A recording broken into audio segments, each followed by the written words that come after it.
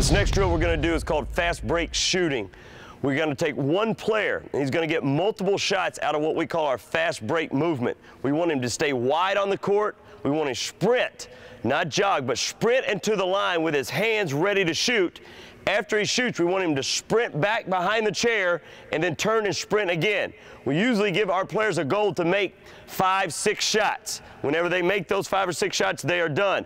We're trying to shoot again under game-like situations, trying to fatigue our shooter so that he's ready to shoot at the end of a game. Let's go, show your hands, be ready to shoot, game-like, hold your fall through. There it is, good. Come on, two more, two more. Good, good, come on, come on, this is it. Five, four, three, two, one. Good, one more, let's go, one more, Markel, one more. Catch and shoot, catch and shoot, fast break shooting.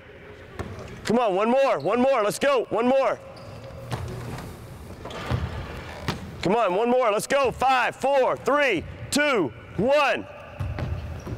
Good job, good job.